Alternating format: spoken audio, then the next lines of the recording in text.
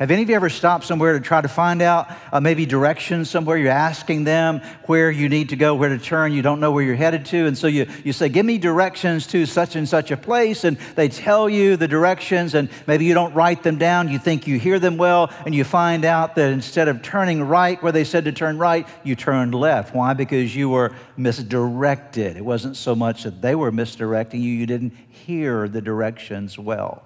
And many times in life we struggle because of this very thing. And the Bible says, Stop listening to instruction, my son, and what will happen? You will what?